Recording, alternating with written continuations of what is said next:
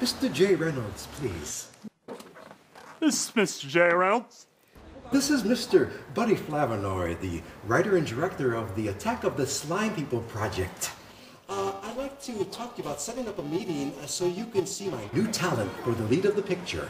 His name is Steve McQueen, and I think you'll find him perfect for the part of. T- Well, I'm sorry, Mr. Flavinoid, but we've decided to pull out of that project. what? We've decided to finance Plan 9 from Outer Space, the Ed Wood Project. Who's Ed Wood? There are just too many complications attached to your project. Those weren't complications, just minor. I'm sorry, Mr. Flavonoid. We've made our decision. Have a good day. no, but, but, uh, uh, uh.